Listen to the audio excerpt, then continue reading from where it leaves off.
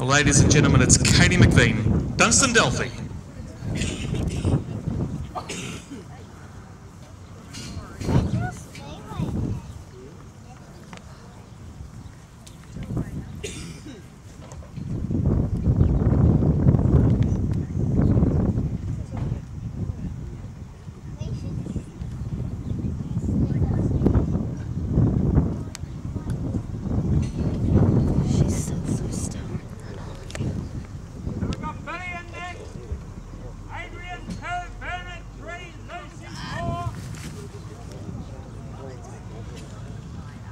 Over,